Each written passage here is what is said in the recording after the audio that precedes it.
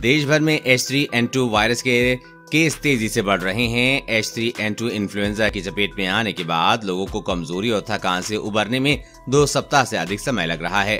Covid 19 के बाद influenza ए virus के बढ़ते मामले अब मेडिकल एक्सपर्ट की टेंशन भी बढ़ा रहे हैं, क्योंकि इसके लक्षण कोरोना जैसे ही हैं।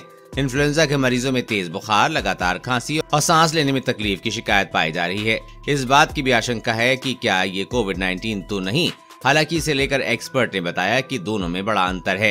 एच थ्री एन टू और कोविड नाइन्टीन में क्या अंतर है? एम्स के मेडिसिन डिपार्टमेंट के प्रोफेसर पीयूष रंजन कहते हैं कि कोविड निचले रेस्पिरेटरी ट्रैक, यानी कि श्वसन पंथ को प्रभावित करता है, जबकि एच थ्री एन टू ऊपरी रेस्पिरेटरी ट्रैक को प्रभावित करता है।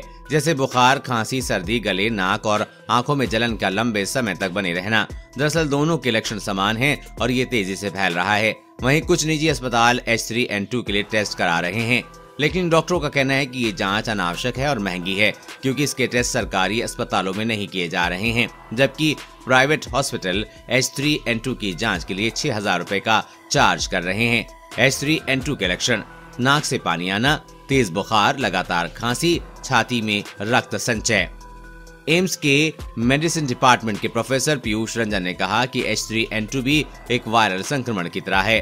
हम इन्फ्लुएंजा, स्वाइन फ्लू वायरस या एच वन एन वन के बारे में सुनते थे। इसके दो एंटीजेनिक रूप हैं। एच एंटीजन है और एन एंटीजन एच वन की तरह ही एच थ्री भी एक वेरिएंट है और एन वन, एन टू की तरह ही एक वेरिएंट है। ये बूंदों से फैलता है। इसमें सांस लेने में तकलीफ़ होती है, लेकिन हमें कोविड से सावधानियाँ बरतने की ज़रूरत है।